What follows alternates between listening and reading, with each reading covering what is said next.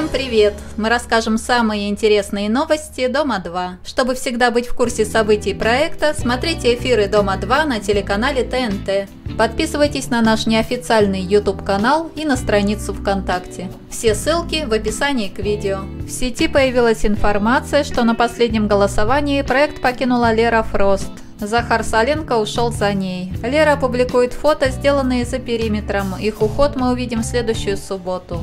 У Тата Блеменкранц новый важный этап в жизни. Она вместе с Юлией Ефременковой будет вести шоу «Сплетницы». Еще одна мечта сбылась у Таты. Они с Валерой приобрели автомобиль. Нового члена семьи они ласково называют «Бубовоз». Лилия Читрару, оставшаяся на поляне без своей подруги Леры, скучает и грустит. Катя Жужа в новостях «Дома-2» рассказала, что Лилия снова замечена в переписке с Глебом Жемчуговым. Они ставят друг другу лайки и оставляют теплые комментарии. Новенький участник Кевин Кузнецов влился в компанию на острове Любви. Он пишет, что готов к построению отношений и что девчонки на острове гораздо лучше, чем на поляне.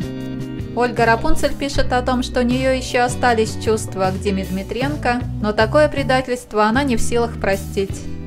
Ну а Дима, по достоверной информации от Вани Барзикова, скоро вернется на дом 2.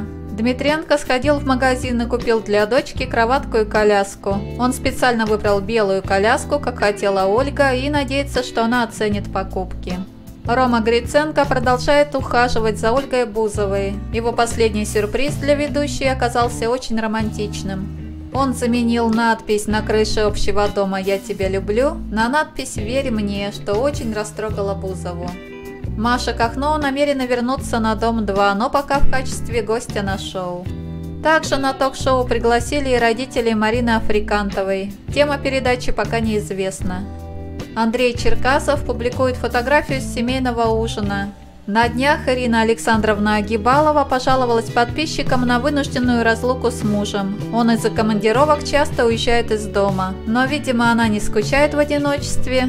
Через некоторое время Агибалова опубликовала фото в объятиях неизвестного мужчины. На женщину обрушился шквал критики. Ирина Александровна быстро удалила фото, видимо, осознав, какую глупость совершила.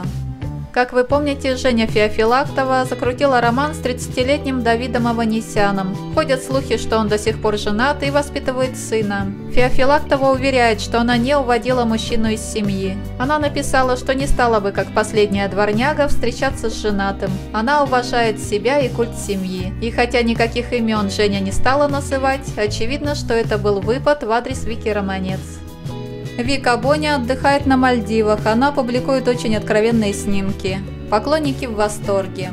Бывший участник Сергей Сичкар открывает караоке-клуб. На открытие он пригласил Колю Должанского. На этом все. Спасибо, что были с нами. Ставьте лайки, комментируйте, подписывайтесь на наш канал на YouTube и на страницу ВКонтакте. Ссылки ищите в описании к видео. И не забывайте смотреть эфиры Дома 2 на канале ТНТ.